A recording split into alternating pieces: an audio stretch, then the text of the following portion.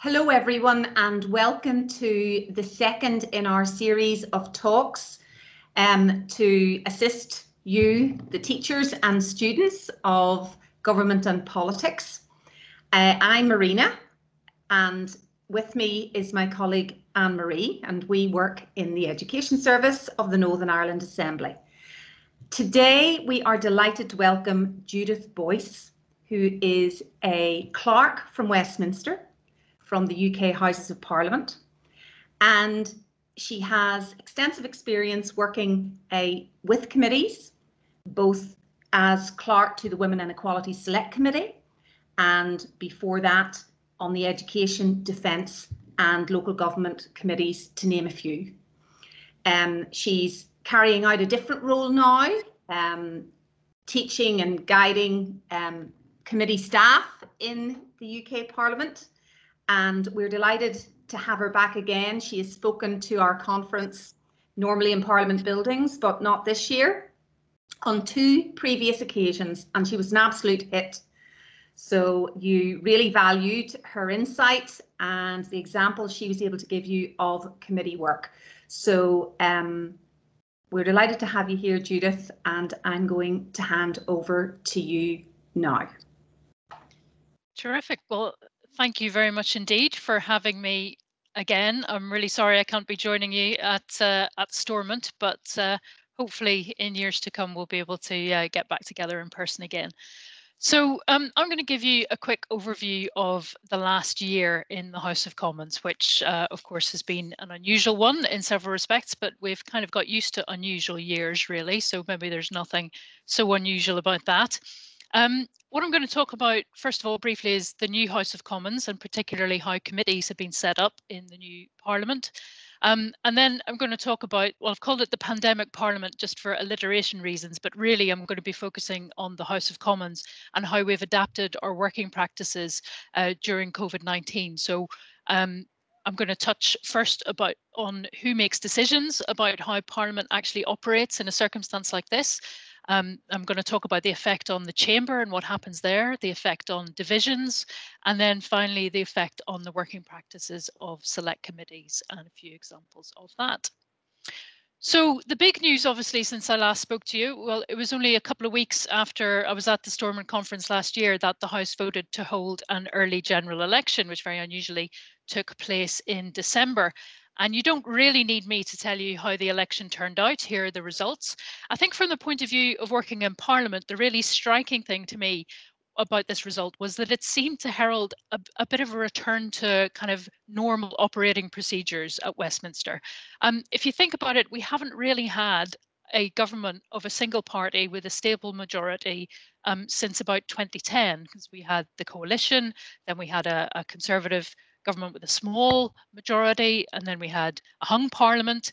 And so um, for a long time, things had been unusual. And it seemed that when we came back for this parliament, um, things would revert a little bit to normality. So there was no prospect of the kind of, you know, mass expulsions or defections and lots of independent members that we had in the last few months of the previous parliament. And also, a government with a stable majority should be able to count on the fact that um, the rules of the House, the standing orders, give precedence to government business. So the government controls the agenda. This time last year, we were all talking about backbenchers seizing control of the order paper, which they were able to do whenever they could get a majority in favour. Um, but if the government commands a majority, then that prospect disappears. Now, a few other short notes about this result. This election saw the highest proportion of women ever returned to the House of Commons at nearly 34%, and also the highest number of MPs who identify as being from an ethnic minority background, 65 of, of, those. But both those marks are still well below a proportionate reflection of those groups in the population, of course. And the very last thing to say about the election results is um, I think when I thought about this election, I felt like there was a lot of turnover in the members in, in the House. Um, but actually, turnover was at about 21%, which is more or less average for um, elections over the, the last few cycles. I, I, think it felt like more because of the, the prominence and the high profile of some of the members who were, were standing down, who were, st were standing as independents and therefore unlikely to be returned, and some of the reasons why that had come about.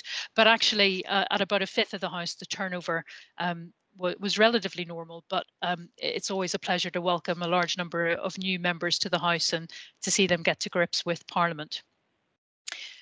So the new um, Parliament gives me an opportunity to talk about how select committees are established at the start of a Parliament.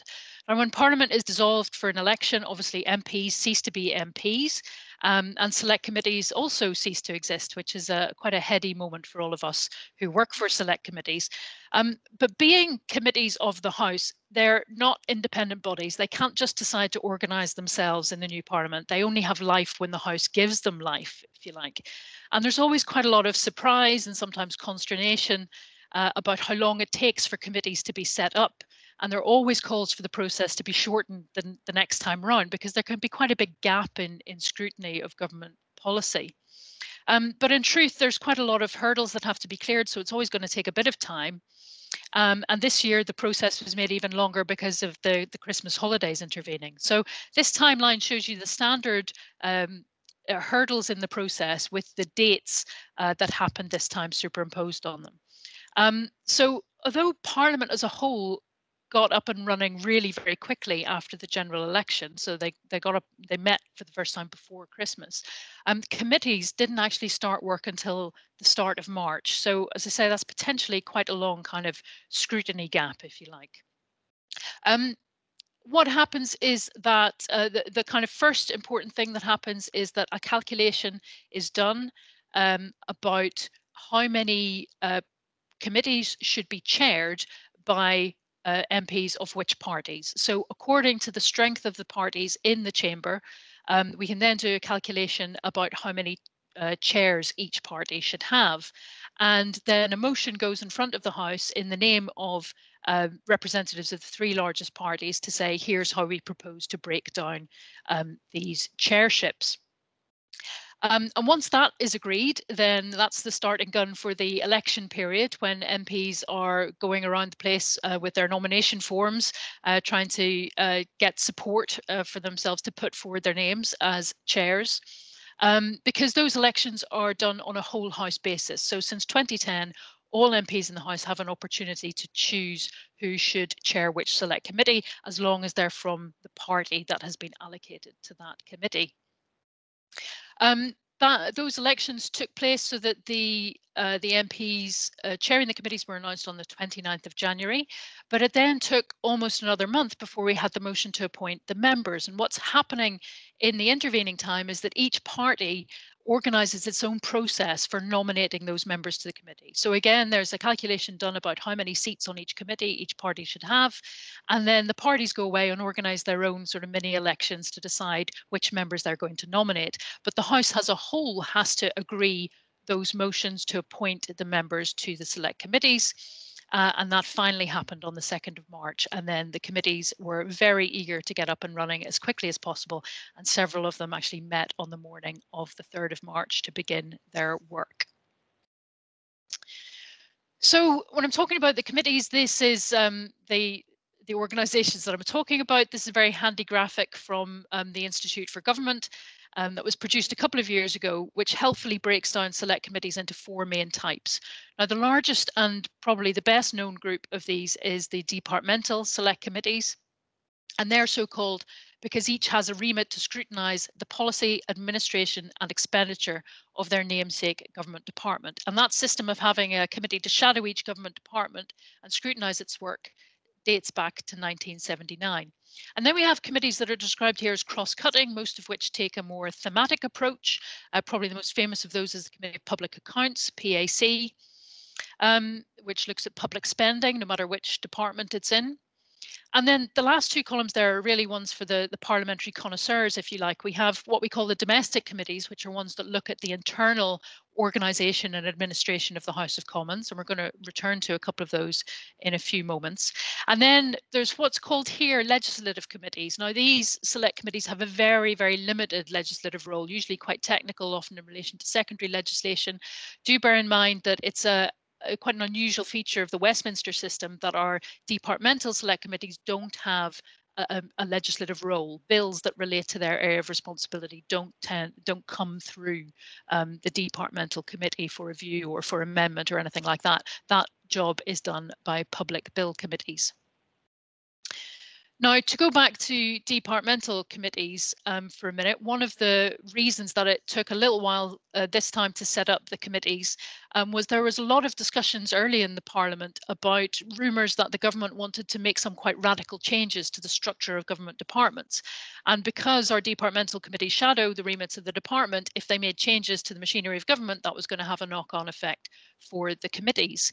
Um, there were all sorts of rumours, uh, things like uh, I think I remember hearing that they thought the Home Office might be split so that there would be a separate department for immigration and borders, for example. Um, but in the end, the only change that was made in the short term uh, was the abolition at the end of January of the uh, Department for Exiting the European Union, because that was uh, perceived to be job done by that department. And so the uh, Committee on Exiting the European Union was a casualty, although it was actually just renamed um, into the not very snappily titled Committee on the Future Relationship with the European Union. Um, later in the year, in September, there was another change when the International Development Department was abolished and its functions were rolled into the Foreign Office. We still, for the time being, have an International Development Committee, but there are discussions ongoing about what the, the future form of that committee is going to be. There have been suggestions that maybe the Foreign Affairs Committee could have a subcommittee that looks at development spending, or maybe this could become a cross-cutting committee that looks at aid and development spending across government, because it's not just one department who spends aid, aid budgets. There's there's quite a lot, for example, spent by the Ministry of Defence. So that one option is for that to become a, a cross-cutting um, committee, but um, kind of watch this space on that. Uh, this chart shows the, the difference in the allocation of elected chairs for the departmental and a few other committees between the last parliament and this one. Um, now, a couple of these are subject to convention. So the Treasury Committee is always chaired by a government member and the Public Accounts Committee is always chaired by an opposition member. But of course, with a Conservative government in the majority, there are more Conservative slots for chairs overall. And Transport and Environmental Audit both switched from the Labour Party to the Conservative Party this time around. Uh, the Liberal Democrats lost their one chairmanship of the Science and Technology Committee, but the Scottish National Party held on to both of theirs, one of which is the Scottish Affairs Committee. Uh, just over half of the chair spots were subject to contested elections. So by no means all of them uh, were contested. Um, quite a few were elected unopposed. Um, uh, many of whom would have been incumbent returning chairs. But at the other end of the scale, I think for Defence Committee, there were five members who put their names forward uh, to be chair, and there were a few other committees where there was a contest between four members each. Um, the Institute for Government has worked out that out of the 53 candidates overall, uh, fewer than half had no front bench experience. Um, and we think this is a growing trend over time. So that could be as a government minister, as an opposition frontbencher. And in fact, seven of the candidates were former secretaries of state. And this just adds to the impression that chairing a select committee is now seen as a heavyweight career option for politicians, particularly those who don't particularly see a home for themselves on the, the front bench of their parties at a particular moment in time. And this is a trend which I think helps the, the profile of select committees all told. So this is what your average departmental select committee looks like in the new parliament. This is uh, just by way of example, the Business, Energy and Industrial Strategy Committee. 11 members is the standard size for a departmental committee these days. And as I said, the party groupings are in proportion to what you have in the House, although of course the maths aren't ever going to be exact because we, we haven't worked out a way to have fractions of members. Um, so on an 11 member committee uh, in this parliament, we'll have six Conservatives, four Labour and one other member. That's usually some somebody from the Scottish National Party. Um, but there are deals done about distributing smaller party representation around on committees where they have a particular priority. So Defence Committee has a spot for a member from the DUP, the Northern Ireland Affairs Committee has uh, members from Alliance, SDLP and the DUP on it as well. So having set up committees, let's return briefly to events in the chamber. Now, in terms of what the House was actually discussing, um, the new parliament began very much as the old one had ended, uh, talking about Brexit. And very unusually, the, uh, at, the, at the beginning of a parliament, you usually have five days of debate on the Queen's speech. Um, that was actually postponed this time so that members could talk about the European Union withdrawal agreement bill instead and make sure that they could get it through all its stages by the end of January. Um, third reading happened on the 9th of January. It was then passed over to the House of Lords and the Withdrawal Agreement Act received royal assent, so it passed into law on the 23rd of January. By pure coincidence, the 23rd of January was also the day on which the first mention that I can find, uh, anyway, of coronavirus is made in the proceedings in the Chamber when the Secretary of State for Health and Social Care made this statement. Of course, mentions rapidly became much more frequent. Uh, it was on the 11th of March that the WHO declared the coronavirus a pandemic. And it soon became clear that this was not just um, a, a matter for policy scrutiny by the House that would really come to dominate our um, but also, as with every workplace, it posed really urgent, really important questions about our working practices and how Parliament could operate safely. And let's face it, we're not a workplace that is uh, has traditionally been known for uh, modernising quickly and adapting quickly to new circumstances. So this was really going to be a big challenge. Um, in early March, there were actually some full-scale shutdown of Parliament was being considered for as much as five months. And uh, somebody memorably described MPs as 650 potential super spreaders, because of course they travel back and forth to their constituencies, they meet people all the time, um, uh, you know, they, they crowd into the crowded House of Commons chamber and so on. So since then, um, I think we've we've gone through a few stages in how the House has adapted its proceedings to um, the pandemic, and this is a kind of rough categorization, which I think sums up the gist of what was happening at each stage. Um, first of all, there's the bit that I've called getting through to the Easter recess. Um, and we actually the Easter recess started nearly a week earlier, uh, which which bought us quite a lot of time to uh, make preparations and adaptations. In this period, there were lots of voluntary agreements between the parties, um, for example, not to press business to divisions so that members wouldn't have to squeeze into the division lobbies, and that included the passage of the Coronavirus Act itself. So there were no actual votes on that act, and things can be agreed that way by consensus. Um, whips were telling their members to stay away from the chamber unless their name was on the order paper to ask a question, for example, and we had that early adjournment. We came back after Easter, we then we entered a period that I've described as full participation, but in limited proceedings. Um, so members could take part via Zoom. Um, but we had a short sitting week. Uh, we had restricted hours there were no uh, adjournment debates, no Westminster Hall debates, no private members' bills, for example. So everybody was able to take part, the majority of members were doing so remotely, but there was quite a limited uh, scope for the proceedings that we could have. And then the third phase was after the, the Whitsun recess, which uh, was from the beginning of June, really, when we had, since when we've had a more normal looking house timetable, but remote participation was really restricted to certain types of business and uh, only members uh, who had medical or public health reasons for participating remotely were allowed to do so. So uh, what I've called limited participation in full. Now those first two stages, I think were by and large categorized, characterized by consensus. It's the third stage really, which began in June, where there's been a great deal more dissent about how the House is organising itself during the pandemic. And I'm going to talk a little bit about the decisions that were reached and how they've affected proceedings in the Chamber, divisions and then select committees. But first, I just want to mention the, the the cast of characters really the um, the people who are um, they're not all decision makers but they're all people who have a hand or uh, a, a, reason to be interested or to participate in the decisions that are made about how the house can conduct itself.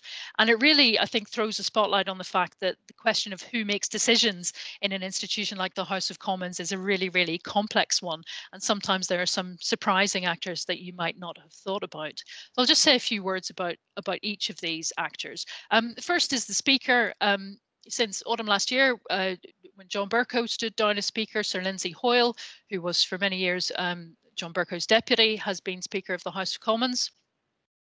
Um, his principal visible function is obviously to keep order in the chamber and call MPs to speak, but he's also the chief officer and the highest authority of the House of Commons. And there are plenty of things that the Speaker has discretion over or has been given discretion by the House where he could affect how we operated during the pandemic. So, for example, he's able to vary the amount of time that are allowed for divisions.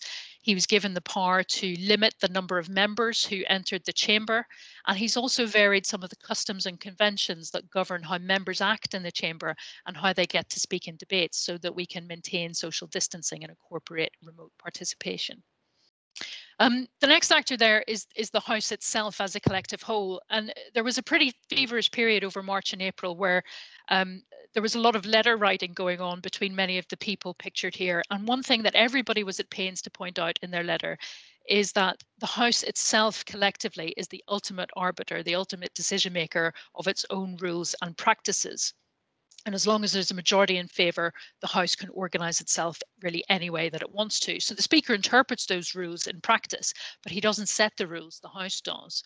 So at key points, the House has taken decisions on some quite lengthy and detailed motions about the way it wants to change its procedures, most obviously allowing for members to participate remotely uh, in, in uh, proceedings via Zoom.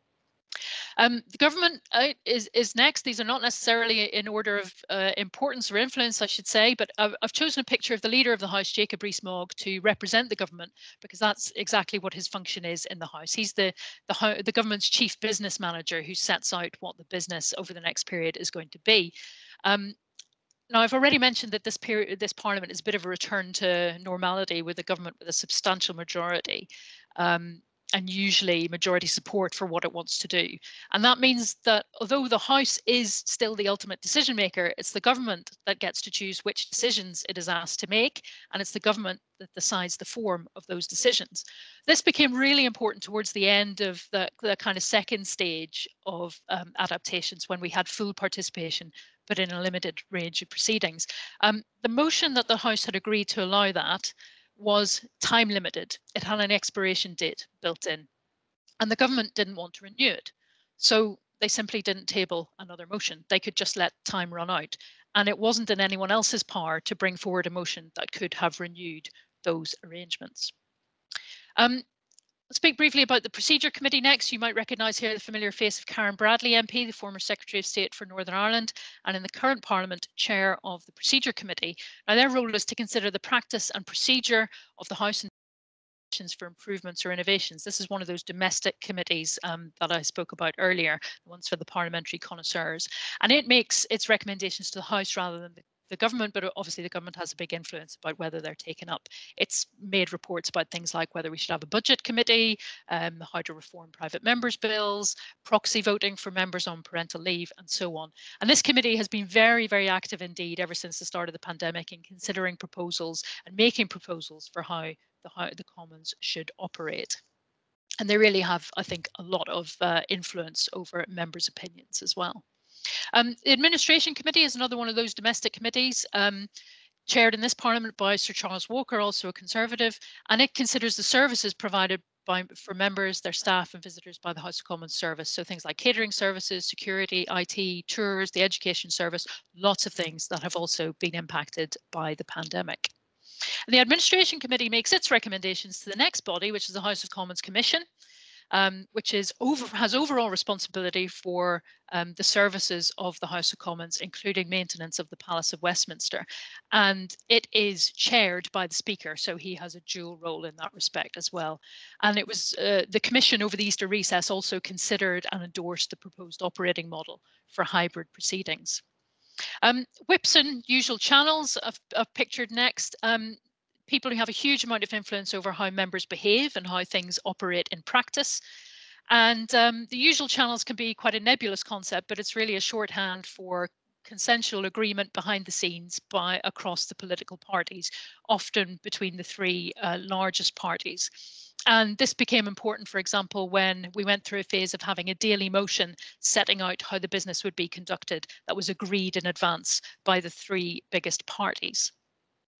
Clerk of the House is next. He's um, ultimately my boss. He's the principal constitutional advisor to the House and advisor on all its procedure and business. Um, nor much of his advice is given in private, but early in this process, he provided a memorandum to the procedure committee with lots of suggestions for how our practices could be adapted. And we've got there Sir Bernard Jenkin, who's chair of the liaison committee. Liaison is a kind of uh, meta committee, if you like. It's it's made up of the chairs of all of the other select committees, and it wasn't actually in place um, when the pandemic uh, started and we started having to consider these things, but it has become a bit more vocal recently, um, taking up causes like uh, participation of select committee chairs in chamber proceedings when they're not able to be there physically and so on. And finally, uniquely really to this circumstance, I've just put in an honourable mention for Public Health England because they've given a huge amount of advice to the House authorities and the Speaker about how uh, social distancing, for example, can be maintained effectively around um, the precincts. So this is what Prime Minister's questions used to look like at the start of this year. Um, here, uh, I think at, at, this point, Jeremy Corbyn was still um, Labour leader. And I don't know about you, but looking at this now sort of makes me very nervous with how close together all of those people are. Of course, the, the House of Commons is deliberately built too small for the number of MPs we have, so that on big occasions they really have to crowd in and create quite a, a febrile atmosphere. But that obviously wasn't something that could continue uh, during coronavirus.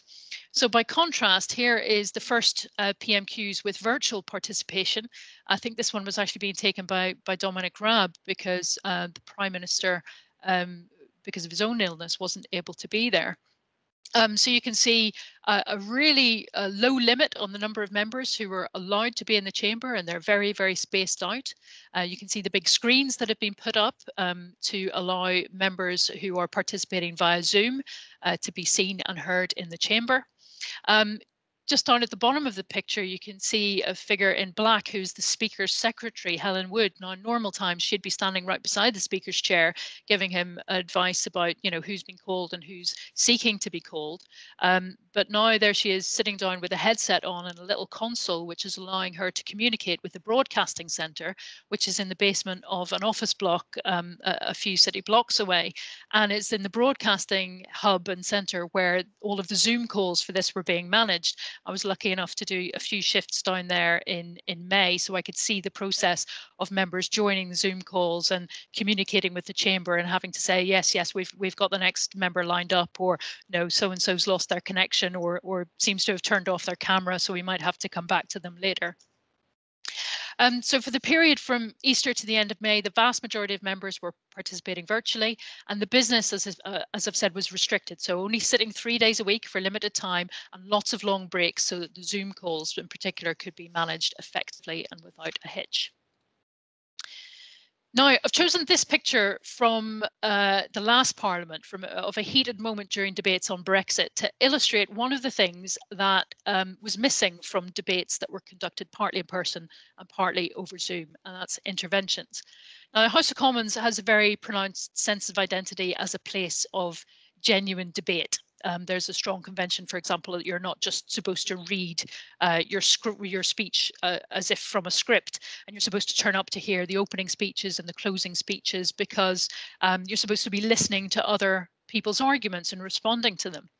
And this picture shows members uh, seeking to intervene on the member who has the floor because they want to respond to something that he said, to make their own point, and to ask him to respond to that.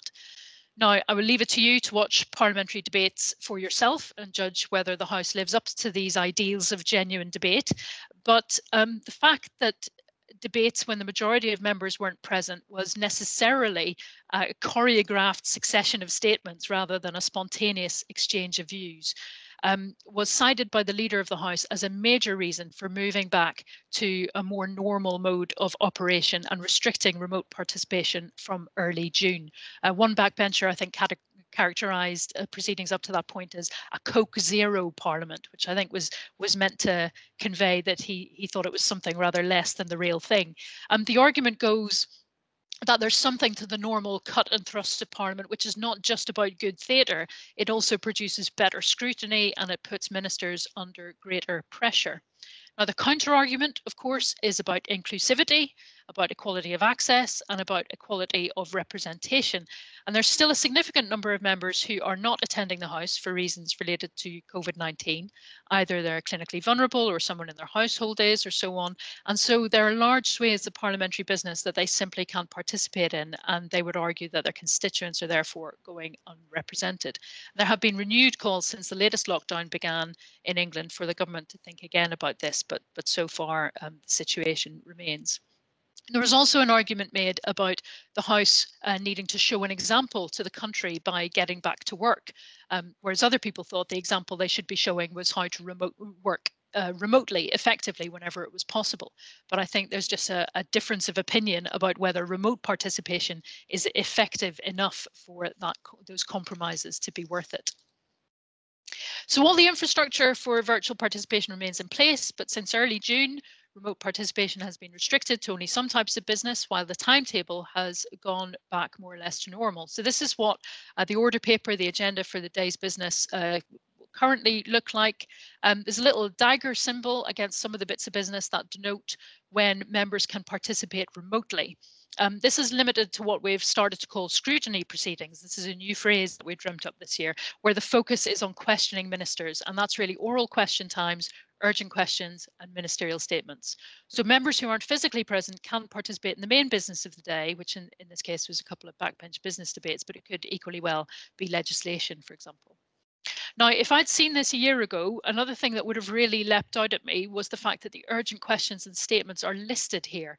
In normal times, the order paper doesn't normally tell you what those are going to be. Uh, we just have a placeholder saying urgent questions and ministerial statements, if any. And you just find out a couple of hours before the sitting starts whether there are going to be any. Sometimes there are three, four, or five of them, and they can take half an hour or 45 minutes each. So they have a big impact on the timing of the parliamentary day. It makes diary planning a bit of a nightmare for members. Um, but now, because of the need for certainty about who is taking part, um, they are announced in advance. And I do wonder if members are going to be prepared to go back to the old system afterwards. This need uh, to manage numbers in the chamber and also to enable members to participate virtually has led to call lists being issued the day before for these scrutiny proceedings. So in the past, if you wanted to ask a question during a ministerial statement, you would just have to turn up and you would do what's called bobbing, which is just to stand up repeatedly after every member asks their question and hope to catch the speaker's eye and be called next to ask your question. And there was no certainty about when you would be called or even if you would be called. So with these call lists, there's now a lot more certainty for members about how these procedures run. Moving on briefly to talk about um, divisions. Um, so another area of controversy is how the House should handle voting during the pandemic. And this is an issue because of the very unusual way in which the House normally votes. So when the, the bells are rung for a vote, or as we call it, a division, minutes to get themselves to the lobbies, which are corridors on either side of the chamber, one for the ayes, and one for the noes. And after eight minutes, the entrance doors are locked and the members are then counted as they exit at the other end.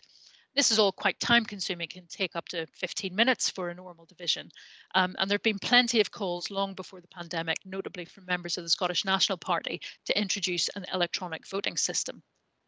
But a lot of members value the system um, because it gives them valuable opportunities for networking, particularly for bending the ear of ministers when they're cooped up together in the lobbies.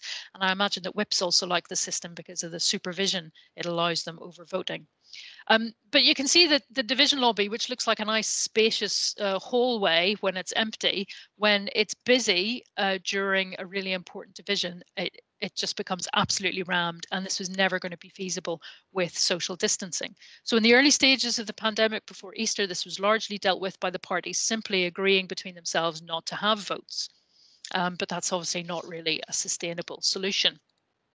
So over the Easter recess, a huge amount of work was done very rapidly by our digital service to get up and running a fully digital system for voting. So members would receive notifications from an application called Member Hub uh, when a division was called, and they could then log in securely wherever they were to cast their vote.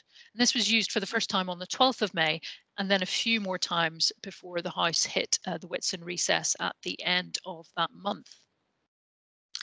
Now, since June, we've reverted to in-person divisions, but they've obviously had to be adapted a lot to comply with the Public Health England guidance. The first vote that took place in June was actually about whether or not to continue to have remote divisions. And that was done by members queuing up around the estate and filling, filing into the chamber where they recorded their votes at the dispatch boxes. Now, this attracted a lot of comment at the time for a couple of reasons. Um, the apparent absurdity of the very long queues. Uh, one member compared it to queuing at Alton Towers, though presumably a lot less fun. And the, the sheer amount of time it took for everyone to get through, I think this first division took about 40 minutes. And also the fact that a, quite a large number of members themselves couldn't be there in person to vote on whether or not they should be able or should have to vote in person. So very soon after, the government conceded to an extension of what we call the proxy voting procedure. And now this has been in place for um, nearly two years now, uh, first on a trial basis and then permanently for members who um, are uh, who need a period of parental absence, parental leave when they first have a child. And um, that's been a very popular scheme indeed. And there were lots of calls around this time to extend it to people who couldn't attend because of COVID. And that was granted by the government. But members had to, to self certify as uh, having a, a medical or public health reason related to the pandemic to use that proxy voting system. So what this means is they nominate another member to cast their vote on their behalf. Um, the system was also changed later so that members are back to using the division lobbies, but with electronic pass readers um, stationed in there rather than actual people recording the votes. And very recently, uh, a ch further change was made to proxy voting so that you didn't actually have to be absent from Westminster to use it. You could be somewhere on the parliamentary estate, but you might not want to go through the division lobbies and be in close proximity to other members. And that um, precipitated a huge uptake in the proxy voting scheme. Almost 60% of members are now using proxy voting. Um, and one of the opposition whips is actually holding 115 proxies, and one of the government whips, 215. Um, and there are so many of these arrangements now that the Speaker has actually been able to reduce the amount of time allowed for divisions. So I want to talk a bit um, about committees and how this has affected um, the committee uh, working processes. First of all, here's a, a, quick reminder, which I won't go through in detail, of how select committees usually go about their business. This is how we manage uh, our inquiries and any committee will usually have several inquiries going on at once. In an average year, they'll probably publish between about six and 12 reports. Um, in the long 2017-2019 session, there were more than 800 committee inquiries launched over the course of that session. Now, one important thing to note is that quite a lot of work for an inquiry actually takes place in private. Um, so we do our evidence gathering in public and our written evidence is published, but important discussions about which subjects to choose and then what the report should say actually take place behind closed doors. And this is something that helps a great deal in committees coming to a consensus view on topics across party lines. And here's a, a, neat illustration from the Digital Culture, Media and Sport Committee of their activity during their inquiry on the impact of COVID-19 on DCMS sectors. Um, I'd say at the odd number of uh, 666. This is a, more pieces of written evidence than the average, but 25 uh, witnesses is probably about average. So you might have three or four evidence sessions for an inquiry. And they've broken this down by the type of organisations they've heard from. And it, it's a really important point that select committees set a lot of store by the variety and quality of the evidence they take from lots of different perspectives. It's a large part of what gives select committee work its credibility. Um, and in normal times, this is what an oral, one of those oral evidence sessions would look like. So it's a, a question and answer session that takes place in public. Committee staff give a, a, briefing to witnesses on what to expect. You might have one or two panels of witnesses during a session. And the last oral evidence session in an inquiry is uh, you almost always hear from the responsible minister. So they kind of have a right of reply to all of the evidence that you've heard. Um, these meetings are formal proceedings of the House, which means that they you can have the freedom of speech that is uh, guaranteed by parliamentary privilege, and misleading a committee is a contempt of the House. Now, the main impact of COVID-19 and committee working was always going to be on oral evidence because it rendered our usual form of taking evidence really impossible. You can't have everybody crowding into committee rooms in Westminster like this. So back on the 24th of March, the House agreed really quite quickly to some radical changes in the way that committees could work.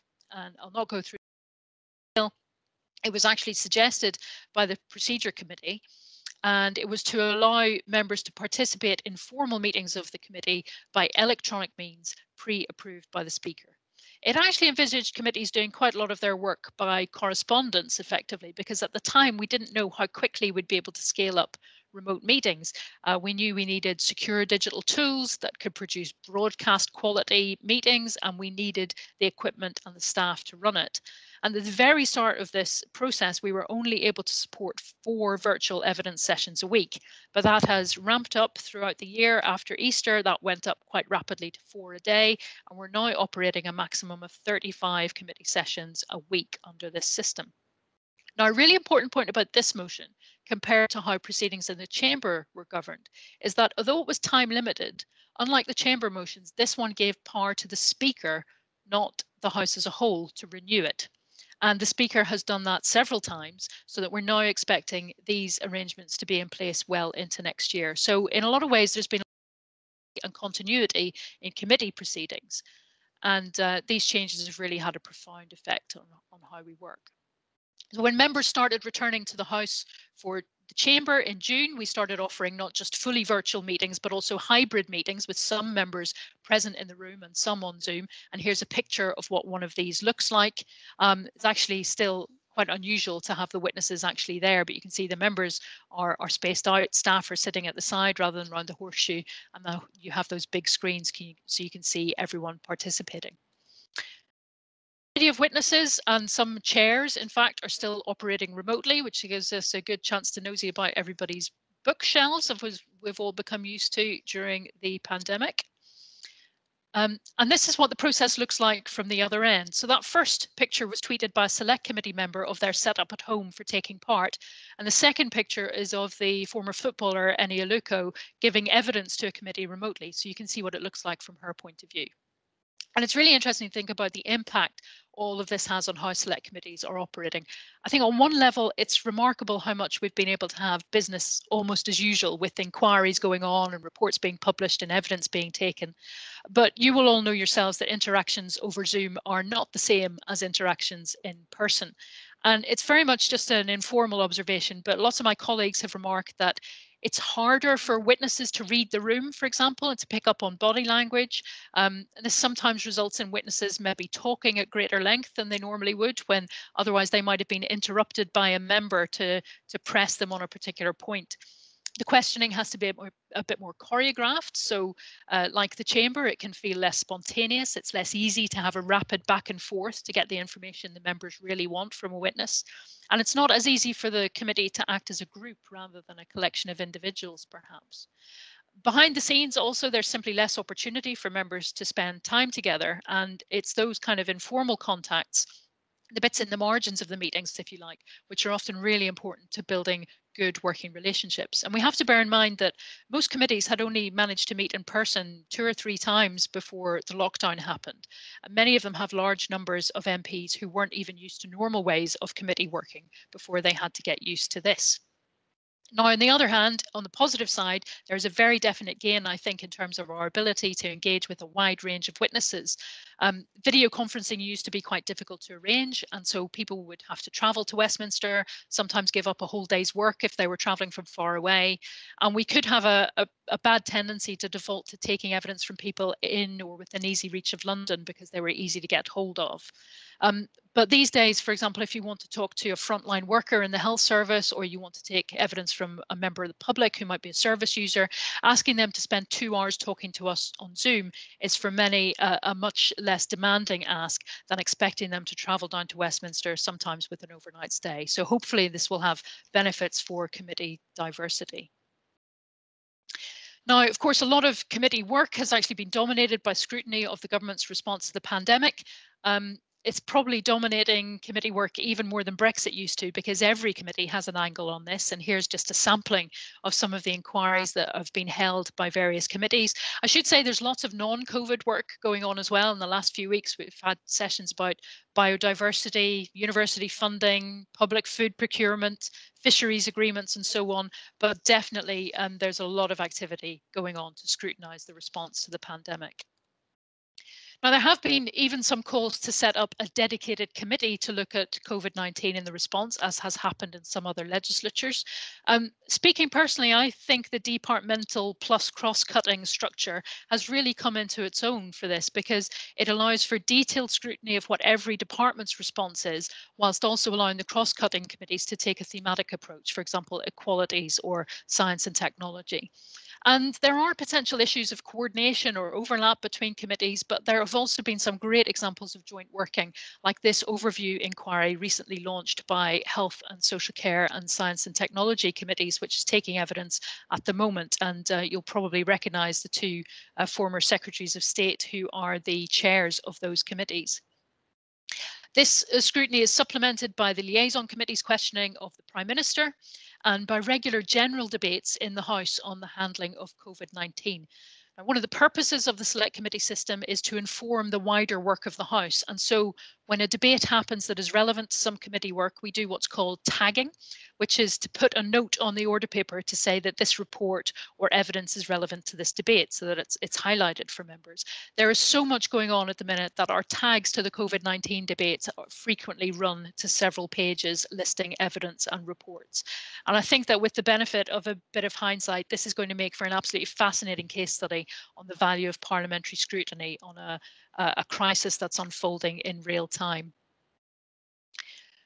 I'm just going to finish by posing the question of whether um, there are any changes here to stay.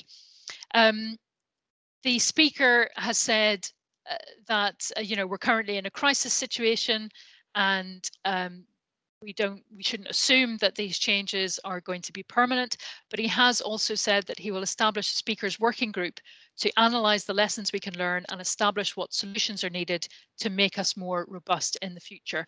I think maybe contrary to expectations, this period has shown that Parliament can be really nimble with institutional change when it has to be. We've done a lot of things that we maybe thought weren't possible, like introducing a fully electronic voting system. But we will need to think about whether we want those institutional changes to persist when the immediate crisis has passed. And uh, if I were you, I would keep a very close eye on what some of the actors that we looked at earlier will have to say about this, and particularly have a look at the uh, the procedure committee reports to see what they recommend we keep into the future and we learn from all of this. Um, that brings me to the end of, of everything I wanted to say. Thank you very much for sitting through all of that. Uh, I hope it made sense and I look forward to a few questions. Oh, thank you very much, Judith. That was a fascinating account. Um, uh, every slide was was wonderful, um, but it's really interesting for us to hear in such detail about the impact of coronavirus on proceedings, you know, and also uh, about how adaptable Parliament has shown itself, and you know, looking forward, as you say, you know, will this mean um, a big a big change really in how it does business going forward. Um, and also your earlier material on you know select committees and um, you know the chairs and how they're selected and and the election of course as well. So um, thank you so much uh, for that. Um, we do have uh, a few questions for you, um, mm -hmm. and Anne Marie's going to start us off by um, asking uh, three questions, and then uh, I'll ask a couple more at the end. So I hope you're you're able to take a breath and uh, Anne Marie, over to you. Okay, thanks very much, uh, Marina. And Judith, I would definitely uh, echo Marina's word. They're fascinating and the images that you chose gave us a real sense of you know how parliament has uh, changed the way it's working in response to the pandemic so great choice of great choice of pictures judith thanks um, first question here, um, actually it came from two sets of students in Magherafelt and East Belfast. And it's, is there any evidence to show uh, government pays attention to select committee reports? Ah, that's such a good question um, and one that uh, I wish I had a very easy answer to. Um, you'll know that when a select committee publishes its report, the government has to respond. And by convention, it has two months to make a response in writing, which should be uh, basically a blow by blow account of how uh, it responds to each of the recommendations that a committee has made. but um, it doesn't, although it has to respond, it certainly doesn't have to accept those recommendations. And it can be a very dispiriting experience reading a government response to one of those reports because um, most of the recommendations, it feels like, get rather batted away. Um, now, I don't think that that necessarily means um, that it's uh, the case that committees don't have an influence on the government, for example. Now, there was a study done, and it's about 10 years old now, but there was a study done by the UCL Constitution Unit that reckoned about 40% of committee recommendations were actually accepted by the government. Maybe not immediately, but maybe some way down the line. That has always sounded high to me, and my strong suspicion is that many of those 40% would be some of the more trivial recommendations or the ones that are so vague that it really did the government no harm to accept them. Um, but then if you think about it, two months isn't really very long for the government to change course on something. And I think it's quite unrealistic, actually, often to expect a big change immediately in response to a committee report. Um, now, I do have some examples of direct influence. We're not that good at keeping track of them ourselves, but one that always springs to mind is um, the Environmental Audit Committee um, published a report, it must be 2016 now, on banning microbeads from cosmetics um, little plastic particles that would make their, their way into the ocean food chain. Um, and the committee published their report, and literally a week later, the government gave an announcement that said, yes, we're going to ban microbeads. Now, what really strikes me about that is it's so unlikely that it took the government one week to make up its mind to do that. And so actually it's not just the report that's influential there, it's the whole inquiry. So for months, the committee said, we're going to look into this, we're going to take evidence. Then they had their written evidence, they had their oral evidence sessions, they questioned the minister. And all the way through that process, civil servants would have been working on what the government was going to do in response to this inquiry. Um, so it's not necessarily as immediate as it looks, but um, when the time came, the committee was really pushing at an open door. So that's a that's a big win. My own work on the Women and Equalities Committee, one thing that um, springs to mind was um, we rec the committee recommended that the government should move the Government Equalities Office into the Cabinet Office. That might seem like quite a, a techie move, but the fact is that the Government Equalities Office had been moving around Whitehall wherever the current Minister for Women was based. Mm-hmm. So every time there was a reshuffle in the cabinet, it would keep getting moved on. And it was really bad for institutional continuity, really bad for the profile of equalities in government and so on. And we said, look, it needs to have a stable home, it needs to be in the cabinet office. And the government's response to that report was very non-committal, but lo and behold, the next time there was a reshuffle, they moved the GEO into the Cabinet Office. So they didn't act on it immediately, but we definitely had an impact. What I'd also say is it's not all about reports and recommendations. Um, I actually asked a former civil servant a question at an event recently about um, the influence of select committees, and he said that there's definitely a fear factor um, to select committee inquiries, particularly the Public Accounts Committee, which looks at spending. He reckons that civil servants will often think, when considering a plan or proposal, how would this look if the Public Accounts Committee got hold of it in the end? So there's a kind of preemptive effect there as well. And there are other instances of influence. Um, you know, I can think of Amber Rudd giving evidence to the Home Affairs Select Committee about the Windrush scandal and her department's handling of it. Um, her answers were not very impressive to the committee, and it was only a couple of days later that she resigned from that post. Um, and just very recently, might even have been last week, um, there was the uh, the Digital Culture, Media and Sport Committee took evidence from the then chairman of the Football Association, Greg Clarke, and he ended up having to resign because some of the language that he used in his evidence to the committee. So, um, you know, it's it's the impact is not always just felt through recommendations and reports. Okay, thanks, Judith. Um, a, group of students in South Belfast uh, have a question here in response to a recent news item. And they want to know what impact do you think the recent departure of Dominic Cummings will have on government? Hmm.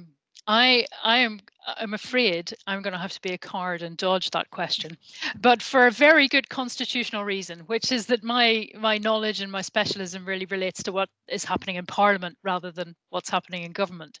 And in some ways, the inner workings of of Number Ten are as much a mystery to me as they are to any uh, any onlooker with an above average interest in, in politics. So um, it's, you know, we always keep a, an eye on how the government is interacting with Parliament.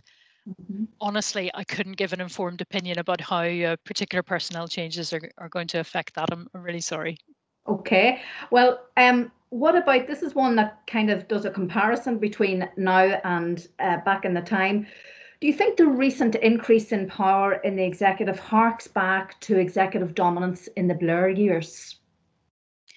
That's a, a really interesting question. I, I mean, I do have to caveat this by saying, again, you know, government and how government organizes itself is, not my specialism. Um, I suppose what strikes me about the situation we have now and looking back to the Blair years is what I said at, at the beginning of my presentation about how, you know, for the first time in a long time, we've got a government with a significant majority in in the House. Um, Boris Johnson's government doesn't have as big a majority as um, as Tony Blair had in in his first term, um, but it's still something that can be relied on. And an executive that ma- enjoys a majority in the Commons has a huge amount of assumed and real control over what the House debates and the decisions it reaches. Um, I think there's always a tension. Even back in 1997, there were discussions about, oh my goodness, is this is this majority too large? Is this going to give MPs um, impunity to rebel? Mm. Uh, you know, are they going to feel that there's maybe no big consequences if they decide not to follow the government line? And um, we've we've seen some of those discussions raising their head as well over the last wee while when there have been some government members who have disagreed uh, with the government's um, proposals for things like lockdown and also how we handle our proceedings in the pandemic. So it's an interesting dynamic to keep an eye on. Okay, Judith, thanks. Thanks to the students and teachers for submitting those questions and big thanks to Judith uh, for answering them. Uh, I'll hand over to Marina for a few more. Okay, everyone, I'd like to apologise for the intervention you may have heard from the member called Ben, uh, a Yorkie. Uh, so if I quickly go into mute again. Anne-Marie, will you continue to ask the questions? Okay, live TV, what can I say? Okay, so I have a, a two questions to ask you now, and they're from um, Belfast School. Uh, and the first one is, how often does the government use the guillotine to cut off scrutiny of legislation in public bill committees? And have you any examples Judith, of use of this device? Um, so something that you might sort of describe as a guillotine is actually used all the time. Um, uh, the, the examples would be would be too numerous to list really. Um, when public bill committees are set up, so after a, a, second reading, if a bill is going into a bill committee, there will be uh, what's called a program motion, and one of the things that programme motion does is to set a date by which the committee has to report back to the House. So there's a limit on how many sittings they can have. There's a hard stop on their considerations. Um, so, and then when the committee itself meets, it then decides how much time to spend on taking oral evidence on the bill, who it will hear from, and it also considers what order it will uh, take the parts of the bill in. Whips and members are quite adept at managing their time to ensure they get through as much as possible in those proceedings, but there will always be that hard cut off for the last scheduled meeting when they have to report back to the House. I'm afraid I don't know what the average is for how much of a bill the committee normally gets through. Um, but I do know uh, I've clerked one public bill committee in my life, and that actually finished early um, mm. because there was quite a lot of consensus on on the bill, and um, the last afternoon sitting was was scrapped because they got through it in time. Um, and the same the same is true when in the chamber when a bill is being considered there. Apart from finance bills, there will pretty much always be time limits on how long members can debate at each stage. And at the end of each stage, uh, the votes have to be taken. So it's happening all the time. It has it's not especially controversial, though it's a practice that was introduced only relatively recently. I think it was only in the early 2000s that that programming programming of bills became routine in this way. Um, where it becomes controversial is where you have a very large and important piece of uh, legislation for which only a couple of dates, uh, days of debate in the chamber maybe are allocated. Thank you very much, Judith, for, for that. Um, another question uh, alluding to um, Dominic Cummings, actually. Um, he famously refused to appear before the Digital Culture, Media and Sport Committee Does this suggest that the common perception of UK select committees as watchdogs without teeth is an accurate one? Let me give a sort of politician's answer and say yes and no. Um, so uh, it's true that uh, select committees can't really call on any concrete sanctions against people who refuse to turn up to give evidence. And the, the Cummings case absolutely showed that. So we have powers to send for persons, papers and records. Um, and if people refuse uh, those requests, then ultimately, once a number of hurdles have been worked through, they can be found in contempt of Parliament. And uh, in the old days, and I'm literally talking about 19th century here, um, you might have considered imprisoning somebody or fining somebody for being in contempt of Parliament. Realistically, nobody thinks that those are options these days. Uh, you know that we just don't have uh, processes that would would stand up to scrutiny for those kind of sanctions. Um, so we think of you know the mere pronouncement of somebody being in contempt of Parliament. We think of that as a very serious matter but it doesn't actually do anything, it doesn't actually have any practical effect, and it does rather rely on the willingness of an individual to be embarrassed by it or to think that it is uh, negative to their professional representation, uh, professional reputation, for example. Um, uh, there are also some gaps in our formal powers. So um, the same committee, the DCMS committee, uh, wanted Mark Zuckerberg of Facebook to appear and give evidence to them as well, but uh, he's not a UK resident, so they couldn't even get as far as, as summoning him. Um, what they did instead was to release a really fantastic picture of an empty chair with Mark Zuckerberg's nameplate at it, and all of the committee ranged around looking expectant. So they were able to have a bit of a publicity win through that, even if they didn't get the evidence session they wanted. But on the other side, it is true that the vast majority of witnesses who are asked to come to select committees do so willingly without any need for a further process. And then there would be a small number of further cases where a bit of simple persuasion does the trick. So the informal power of committees is evidently still very strong. People want to talk to us. They don't want to be seen to refuse to talk to us. And ultimately, the power of committees is, is seen in how the government responds to their reports, how they influence the debate in Parliament, how they influence uh, the media, and, and how they take forward debate amongst the public as well. Okay, thank you very much uh, for that, Judith. And if I could maybe just sneak in a final uh, question uh, before we let you go. Hopefully lots of politics students will be watching this um, recording and some of them might be thinking of a career in politics, uh, possibly not as an elected representative, but maybe working uh, for Parliament, for example, um, or one of the devolved assemblies. Any um, advice for them as as someone who studied politics your, yourself and who now is a clerk at Westminster?